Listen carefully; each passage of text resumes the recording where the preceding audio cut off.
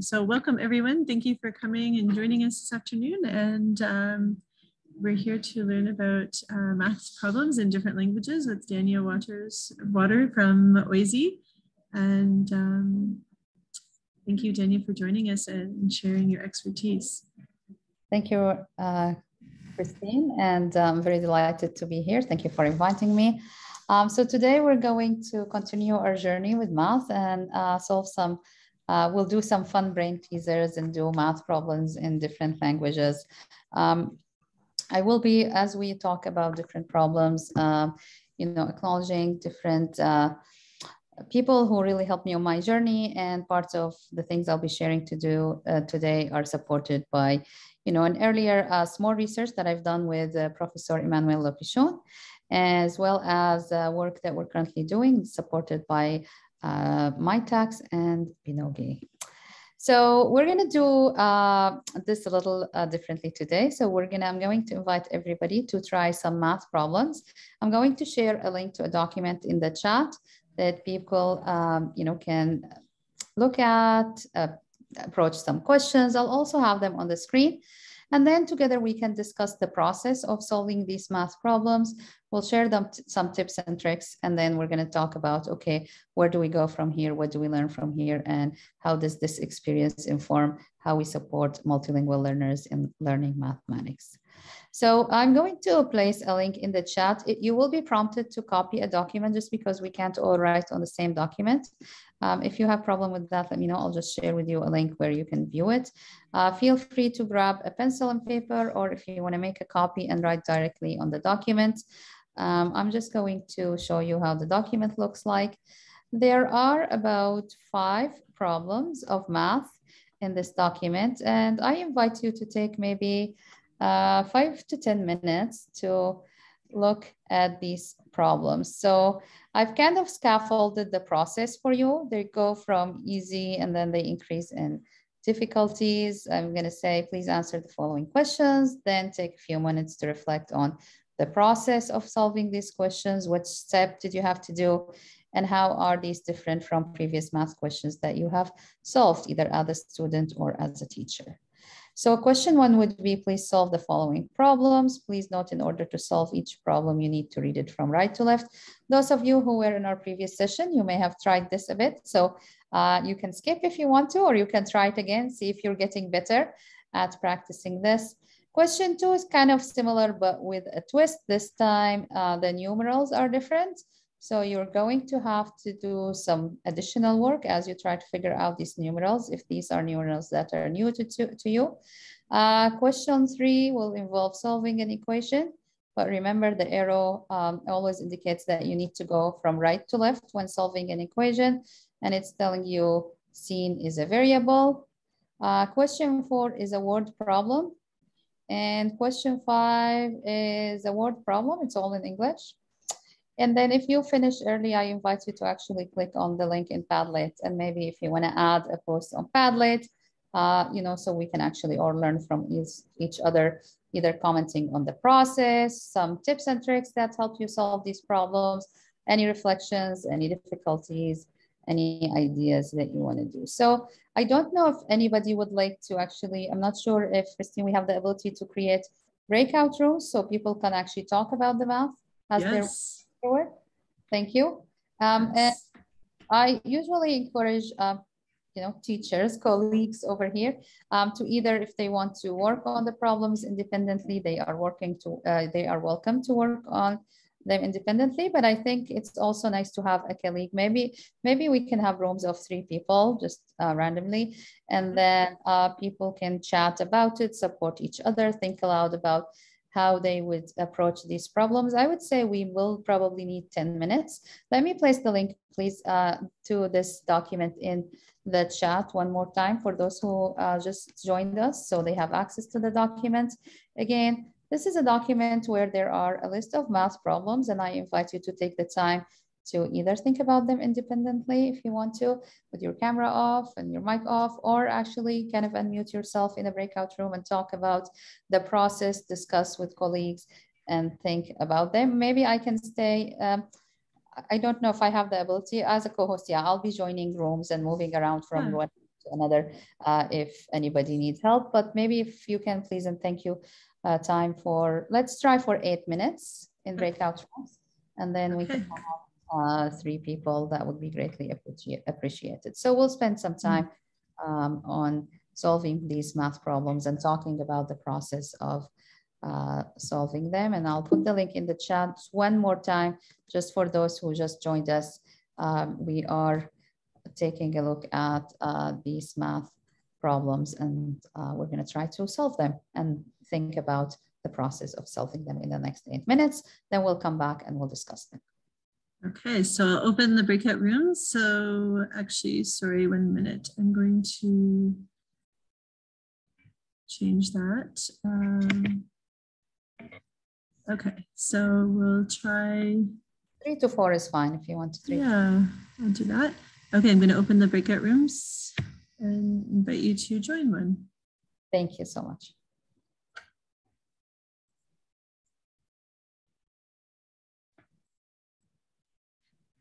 If anyone can't join, actually see it or can't join it, just let me know and I can move you into a breakout room. I'll stay a second just to make sure everybody's good. And then if anybody wants questions, I'll post the link yet one more time in the chat for those who just joined us. Uh, we are solving these math problems. And let me just see if this is it. Yeah and uh, we'll be back in eight minutes. Not sure if you would like to pause the recording and then come back or keep it open, whatever. I'm going to pause it, yeah, and I'm going to move Sonia to room seven if that's okay with Sonia. Wonderful. So this meeting is being recorded.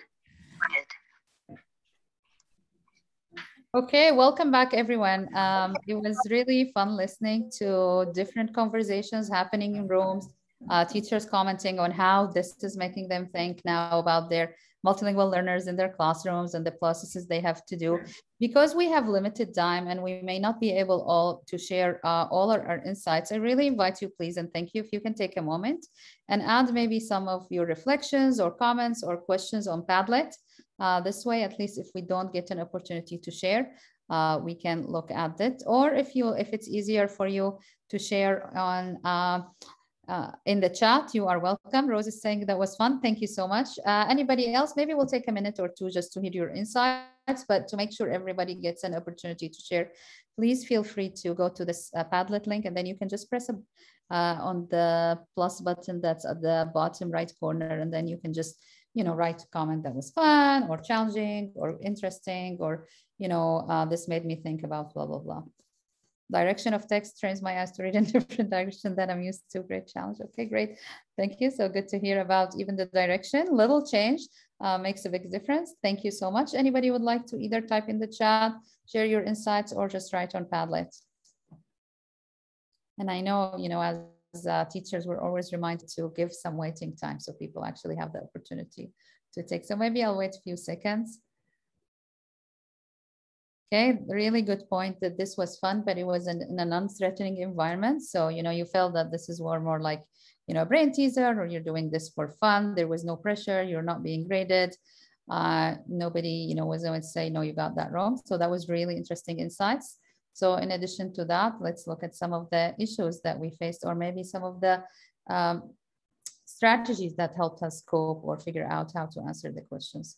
Remembering cognitive loads happen even before doing the math. That's really good, interesting question. So you had some questions right to left, some English and Arabic. Some of you recognize the language. Some of you were like, uh, are these just numbers? Are these um, actually sentences. What do I do? Um, so it was really interesting to hear the discussion.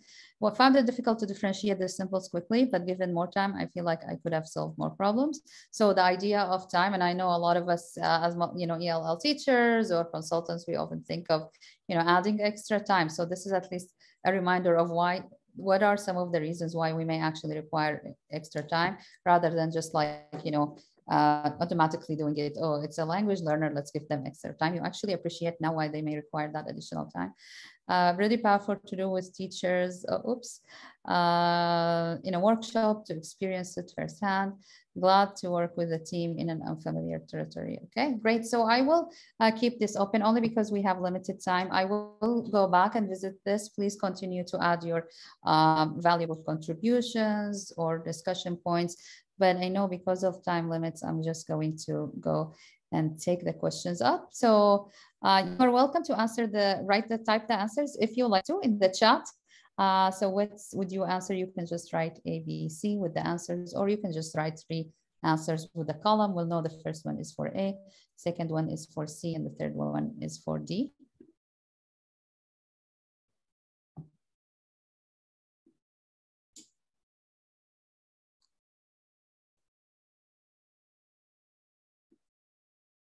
Um, maybe this one, um, I'll go quickly and then I'll try to slow down for the following one. I think most people didn't have difficulty with the first question because we know addition and addition properties. So whether we did it right to left or left, left to right wasn't problematic. So in some of the rooms I was in, people right away got the answer. Um, however, when you get to question B, you really need to be mindful that you're going from right to left. So the negative sign will belong to the number after. And because we're going from right to left, that would be the one on the left. So, you know, you would have had to remember that it's 12 plus 20, 32, and then minus 13, you would do that. Um, same here, you know, one strategy could be to actually put, you know, add negative numbers together and then, you know, do the problems. Um, Dr. Emmanuelle Le Pichon, uh, I've worked with her with different projects. Uh, her picture is right here um, at the corner. She is here with us. So thank you so much. She is a great mentor that I really value and appreciate. And one time we were doing similar exercises um, at a workshop and she was like, why don't we actually have some tips and tricks together? And we developed these tips and tricks. So I want to really uh, thank her. Thank you. And I don't know if you would like to make any comments, uh, Dr. Le Pichon, or if you want to just, uh, we're really thankful to be here and we really acknowledge um, your support in this. So we felt that as teachers, as many of you knew, like the purpose of today's sessions is actually build on, build on our experience and think about scaffolding the process, supporting multilingual learners. So making expectations explicit, giving examples, modeling. I know some of you were saying having visuals absolutely will help uh, students. So these are all uh, really good strategies to help language learners. Um, question two, oops, I still have the annotate feature. There we, oops, uh, select, okay, there we go yeah, in addition to having to remember where the negative sign belongs, students will need to work on some decoding before finding the answer for this question, right? So some of you said, well, I needed some time to go back to the table and look at the answers, but if I had more time, I may be able to do it. So, and as you notice in this, actually, I've already scaffolded the questions. So you start with when change, which is only the direction, and then the change in the numerals, and I added more language, and then I kind of, they became complex. Sometimes we forget to do that, especially if students join us later in the year, and we forget, for like, you know, they have to solve this uh, word problem, and we forget that actually there's so much decoding happening, and some of you mentioned how like the cognitive overload. So this is again a reminder to think about the different processes and steps involved. Um, so again, these are the answers. So with the decoding, this is five, four, seven, 16. These numerals are used in different countries around the world. Uh, some people refer to these kinds of numerals as the Indo-Arabic system. So in countries like Syria, for example, they use these um, in grades up to grade four, and then these numerals are introduced to students. Um, when I grew up as a student, I had to learn how to use these numerals. So um, I was familiar with the numerals because, you know, we took English as a second language, but um, the negative sign and the direction between right to left really took some time to adjust as I kind of moved from learning to write or solve right to left or left to right. So, um, you know, remember to maybe use some visuals to support your students. Um, as you've noticed, I don't have it on the slides, but on uh, in here, I did have a table to help you. These are the numerals. These are the ones that you may be familiar with. And then these are some uh, words that can help you. So this is the one, this is how it's written in Arabic, and this is Wahid. So a lot of times helping, having those tables for students uh, really help and appreciating the time it takes to do the decoding. So as some of you mentioned, sometimes, you know, we're overwhelmed before even doing the math. So really having that sensitivity and appreciation is great. But also do note that um, different countries. So just because a student comes from, say, a country like Syria or Saudi Arabia or UAE, they may have gone to different educational system. So do take the time to get to know your students. And if you notice they're actually studying different language, appreciate that, but don't make assumptions that all students coming from a certain country may be learning a different way or everybody who speaks Arabic, you know, solves it from right to left. I know I had colleagues and students who um, were from Iran and they speak Persian and like the numbers are really familiar with us. This is easy, but they were also used of so, um, to solving problems from left to right. So this there for them, I'm like, okay, the right to left is a trick. The symbols are not a problem. Again, the bottom line is think about your students, try to get to understand them, and hopefully through these problems, you are understanding how to support them better. And, uh, you know, I referred to this last time. I always like to refer to curriculum documents. We're supposed to understand our students' backgrounds, build on their knowledges. So it's just like you built today on your knowledge in math, and some of you translated the language. We appreciate that. And let's think about how we can support students. Um, that's from the curriculum document.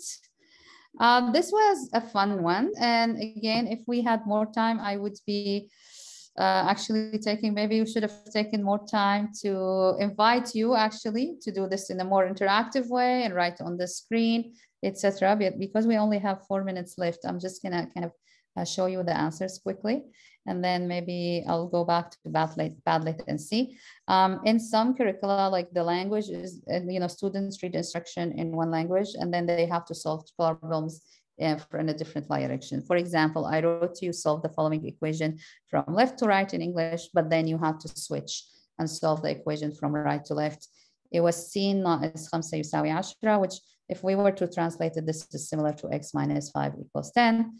And, you know, one strategy would be, you know, um, adding plus five to both sides uh, or moving the negative five, depending on which strategy you're teaching, and then x equals 15. And uh, again, there, are these are some tips and tricks that you can take a look at. I'm gonna check the chat and then I'll move on.